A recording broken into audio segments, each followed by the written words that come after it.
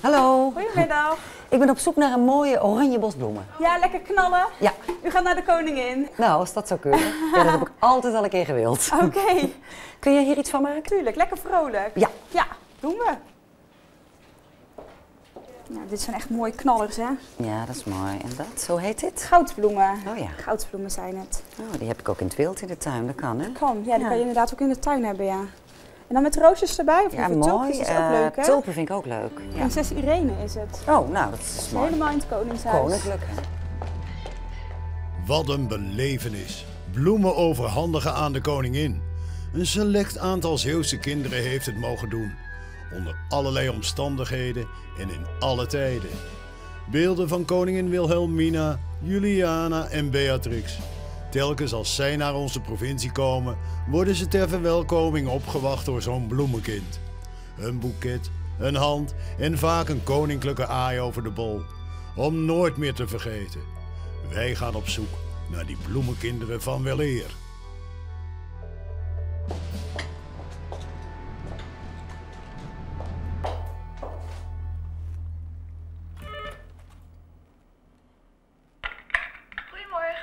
Goedemorgen, Goedemorgen. Is dit Ellen Westerweel? dat ben ik. Mag ik naar boven komen? Natuurlijk. Hallo. Kijk eens erin. Prachtig, dankjewel. Let op Ellen, zo moet je het doen. Jij wacht tot de koningin haar hand uitsteekt.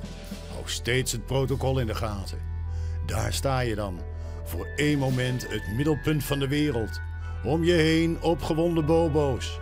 Die donderdag, de 13e juni 1974, komt koningin Juliana op werkbezoek naar Terneuzen.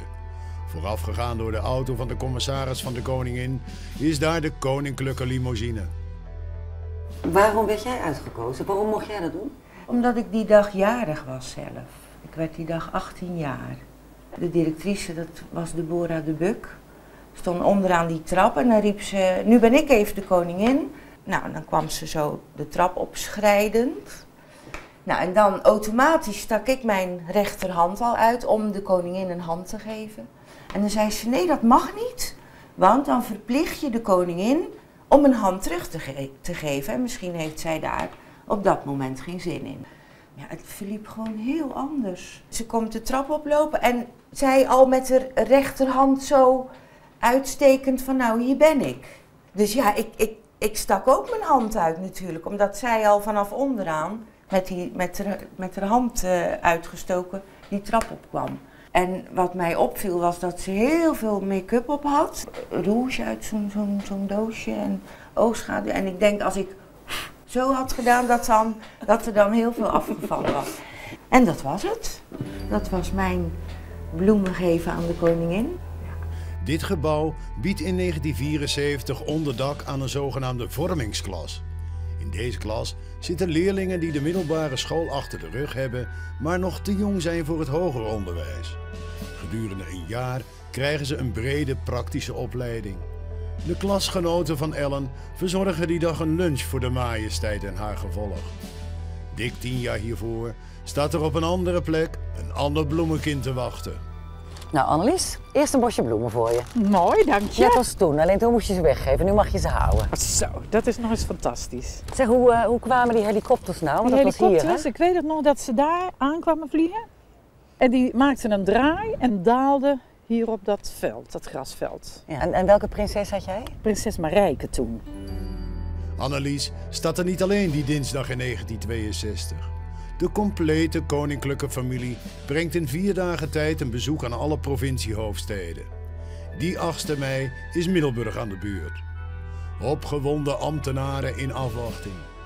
Het bezoek is vanwege het 25-jarig huwelijk van de koningin en prins Bernhard. Ze willen dat vieren met iedereen, met hun eigen kinderen en met de hele bevolking. Vrijwel alle scholen uit Middelburg zijn ter begroeting naar het sportveld getogen. En daar staan onze bloemenkinderen. Vijf meisjes, helemaal links met witte jas Annelies Rot. Ze krijgen nog een laatste instructie. Toen eh, stapten ze uit en werden begeleid en kwamen zo naar ons toe. Mhm. En wij zenuwachtig natuurlijk, tenminste ik was zenuwachtig. En je stond daar netjes met je nieuwe schoentjes, weet je wel. En met die bloemen. En oh ja, hoe was het ook weer? Want we hadden geoefend. We hadden geoefend Wat had je daar moeten oefenen? Oefenen moest je met een eh, bos bloemen. En dan moest je naar voren stappen. En dan moest je zeggen, Hare Koninklijke Hoogheid, mag ik u deze bloemen aanbieden? En je liep dan keurig zo Achteruit? achteruit. Want je moet naar de prinsessen altijd in het gezicht eh, blijven kijken, zeg Ja. maar. En dat was het. Dat duurde alles bij elkaar. eh. Ja, dat was misschien een paar minuten, zeg maar, hè, in, in mijn beeld. Als ik die oude beelden zie, Ja. dan ziet het er een beetje rommelig uit. Ja. Is dat ook het gevoel wat je er daarna aan hebt overgehaald? Ja, ja, dat heb ik er zeker aan overgehouden. Want dat was wel heel grappig. Ik vroeg het aan mijn ouders die nog leven. En die zeiden van... eh, goh, ik kan me nog herinneren dat je thuis kwam en dat je zei... Het was zoveel bij en het was heel rommelig. In die chaos bemoeit prins Bernhard zich met de indeling van de auto's. Ze moeten naar het centrum toe en dat doen ze deze fraaie dag in open limousines. Goed zichtbaar voor iedereen, ook voor de vele fotografen en filmers.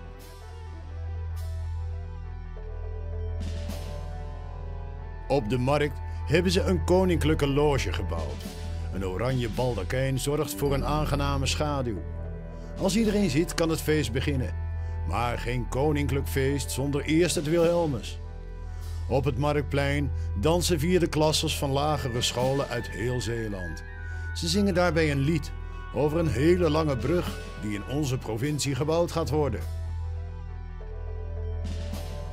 Na afloop van de voorstelling komt de familie het bordes af om ongedwongen een praatje aan te knopen met de Zeeuwse kinderen.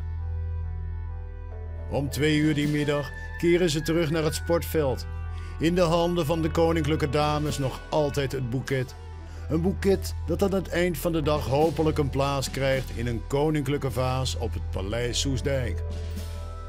Gaan we nog verder terug in de tijd, dan is het 1950 en zijn we in Veren.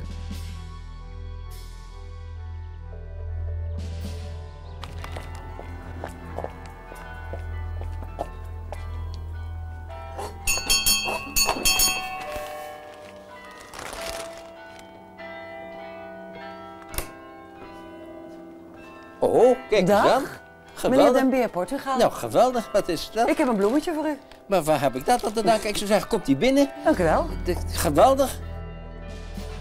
In 1950 heeft Leonard ook een boeket in zijn handen. Als zoon van de burgemeester is hij uitverkoren om de majesteit te begroeten. U was in de tijd een bloemenjongetje, geen bloemenmeisje. Ja, nou ja, waarom dat weet ik niet. Dat heb ik, eh, ik kan het niet meer vragen aan mijn ouders, dus waarom? Maar ik weet wel dat ik het gedaan heb. Dus eh, 18 augustus 1950 heb ik hier haar majesteit koningin Juliana de bloemen aangeboden. Precies hier op deze plek. Dus vanaf de vechten zagen we al de Pietijn schitterend aankomen. Heel mooi. En met al de vissersboten eromheen. De, veer- de hele vissersvloot van Arnhemuiden en van Veren, die waren om de Piet Hein. Piet Hein die kwam hier aan. Ja? En eh, majesteit en natuurlijk ook prins Bernhard, die kwam de loopbrug af. En hier heeft mijn vader ze begroet, natuurlijk. Met de ambtskostuum en het ging heel officieel. En daarna moest ik de bloemen. En waar stond u? Ik stond hier. Hier, op deze plek. Op deze plek. Uit precies op de plek waar we nou staan. En mijn vader had een leuke stunt gevonden. Eh, de Piet Hein kwam aan, kan ik dat vertellen? De Piet Ja, Hein kwam tuurlijk. aan. En dat was natuurlijk heel bijzonder. Toen heeft mijn vader verzonnen. Dit keer niet het Wilhelmus. Mijn vader zei het Wilhelmus vier, vijf keer per dag. Dan ga je het, het mooie minder mooi maken. Overdaad schaadt. Dus laten we nou eens één keer wat anders doen. De Piet Hein. Dat was redelijk revolutionair volgens Nou, mij. dat kon dus helemaal niet. Maar toen zei mijn vader, nou weet je, weet jullie wat? Ik verzin wat. Ik ga naar de commissaris, dat was de jonker meester AFC de Kazenbrood. En even na aarzeling zei hij, ja, wacht maar, doe maar. Ik vind het eigenlijk wel grappig. Eén keer is even wat anders. Die aankomst veren mag even wat anders zijn. En toen klonk ineens de Piet Hein in plaats van het Wilhelmus.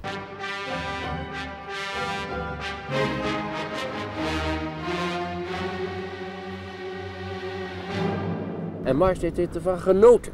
Want ze kon veel meer van die aankomst genieten. En de prins, prins Bernhard, ja, die genoot helemaal. Want anders moet die man staan te salueren natuurlijk. En dan kon hij echt zwaaien en lachen. En eh, de, de aankomst was een enorme feestelijke gebeurtenis. Bij de Veerse sluis ligt het koninklijke jachten Piet Hein alweer gereed voor het volgende traject. Het zijn bijzonder hartelijke woorden die hier worden uitgesproken. Met in hun hoofden wellicht nog steeds de melodie van het zo fraai gespeelde Piet Hein gaan ze aan boord. Op weg naar Middelburg, waar ze zullen worden binnengehaald met de overbekende klanken van het Wilhelmus. Voor de zoveelste keer die dag.